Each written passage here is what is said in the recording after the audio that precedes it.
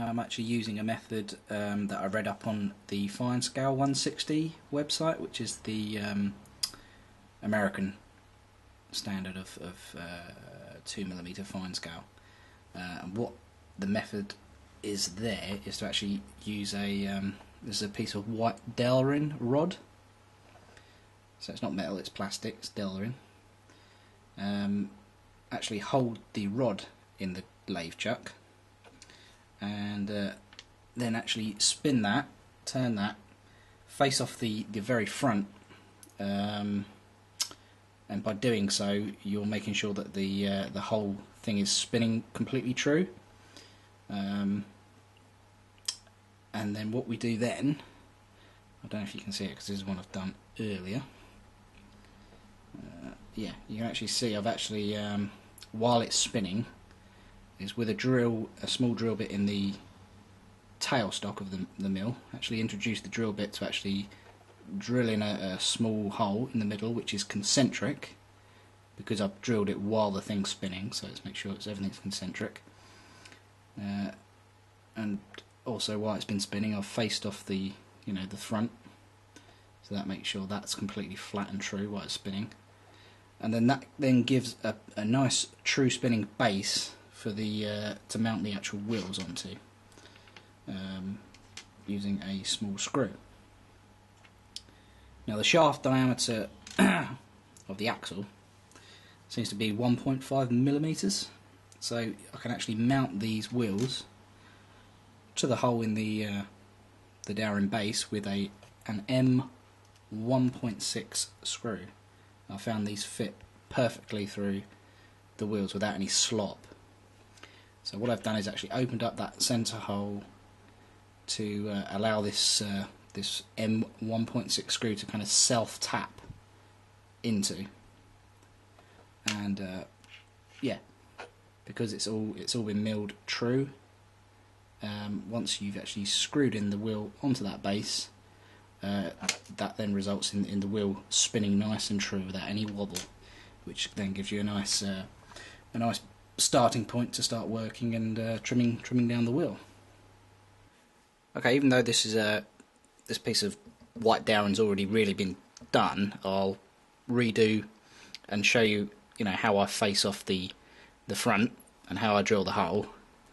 Um, really, it needs to be redone anyway because when you take the uh, the thing out of the chuck and remount it, it kind of loses its concentricity anyway. So it really needs to be kind of redone anyway. So um, I'll just quickly show you that. It's very quick. Um, obviously mounted that in the chuck. I'm going to spin her up, uh, and I'm just going to run the lathe across the front, face off the the very first bit of the material and uh, that should make it um, a nice true flat base ready for the wheel so I'll do that now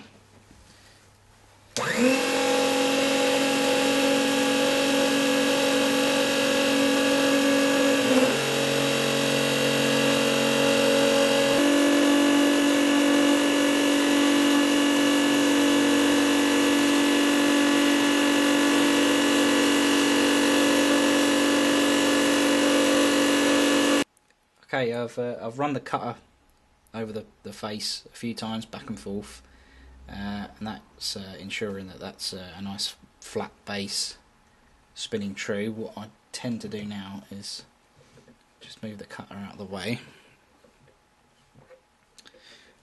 and get a sanding block like this one.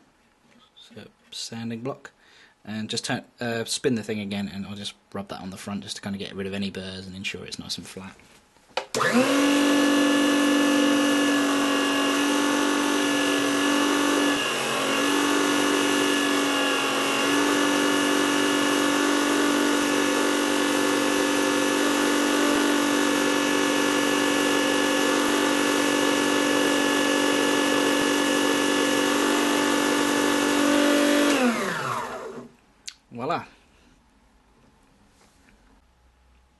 Just a quick look at the front. There's a, a slight little pip right in the dead centre where the, the cutter didn't actually get to, but we're going to drill a hole in the middle anyway, so that doesn't matter. quick look from the side. nice flat base for the. Uh, oh, let me grab a wheel. The uh, wheels are going to be actually be mounted on the end here. Right, so, so the next step is to actually get a hole drilled into the end uh, to accept the screw, which is going to hold the wheel onto the onto the end. Right, to drill the hole in the centre of the uh, the dowel base, um, I'm just going to use a pack of uh, a, you know, a set of micro drills, uh, which are quite popular.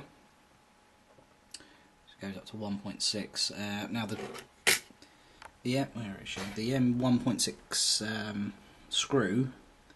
If I measure the diameter over the thread, comes into about 1.45 to 1.5.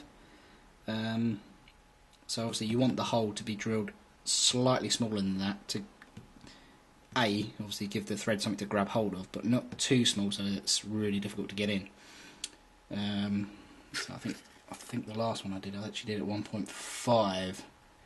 Um, but anyway, um, I suppose the proper method to do this would be to, to hold the drill in the tailstock, which is not actually on here, but there'd be a tailstock holding the drill from this end, and obviously that goes in and drills the hole. I'm not going to use that because this little Unimat 1, uh, once you set up the tailstock on the end, it's not particularly accurate and the thing's not sitting centered. So what I'm going to do is um, be stupid and hold the thing by hand, hold the drill in a pair of pliers and go go in by hand, uh, which I don't recommend doing. Um, but I'm going to do it because I'm stupid and uh, well, it gets me the result. So I'm going to do that now. But um, yeah, if you're going to do it, uh, hold the drill on a tailstock, do it, do it properly. And something else I should have said, which I didn't before I started uh, work, is wear eye protection, uh, which I am actually currently doing. Uh, trust me. And uh, yeah, safety first. so drill the hole in the end. Uh, I'm going to go in with a 1.5 uh, drill bit, I think is what I used last time and it worked quite well. Okay, I've actually kind of changed tactics while I'm doing this actually. So instead of using a screw, I'm actually using the, uh, the actual drill bit pushed into the um, into the uh, plastic part there, which it actually holds the wheel. It's the right diameter. It's a 1.5 uh, diameter drill bit. It holds the wheel nicely. Everything's nice and flush, and when it spins the wheel completely true.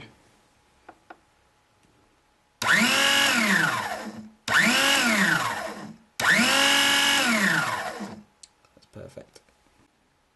I guess what you could do instead of using the, the drill bit is actually using the, the actual axle, the wheel wheels came off, but um, you'd have to end up removing the gear and then obviously putting it back on when we're done. So I'd rather leave that alone, not to mess mess with the gear or anything. So um, alternatively, you could actually buy some some rod off uh, off the web at the right diameter to use.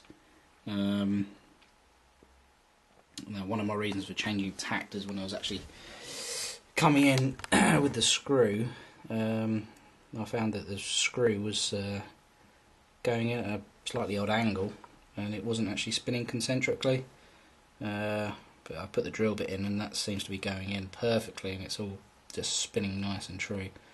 So I'm going to uh, use this just because it's spinning so nicely.